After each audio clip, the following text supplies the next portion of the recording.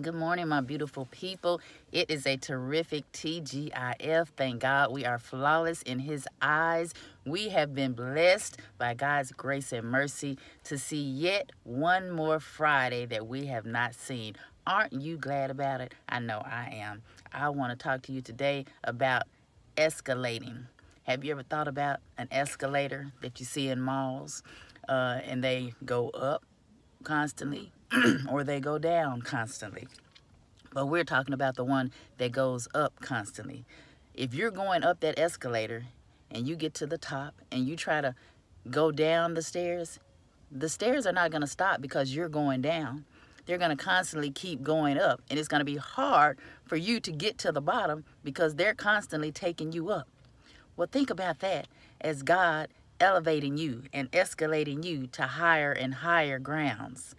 It doesn't matter if the naysayers, the haters, Satan, if you will, if they're trying to constantly bring you down, guess what? God is going to constantly continue to elevate you up or escalate you up to higher ground. And there's nothing that the next man or woman can do about it to bring you to lower ground. Whatever is God is in God's plan, whatever he has for you, whatever he means to be for you, if it's in his will, the next person cannot do anything about it. They cannot stop it. They cannot block it.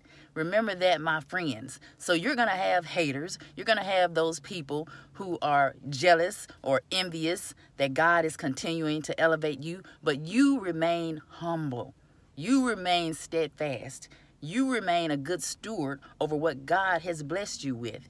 And everything else is going to work out. You don't even have to worry about fighting that battle.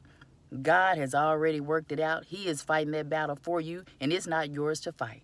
So believe that and receive that, my friends. And I want you to have a wonderful, blessed, terrific Friday on today. And as always, remember to share that beautiful smile with everyone you come into contact with. Whether they deserve it or not, you still share the love of Christ with them. Be blessed, and I will talk to you soon.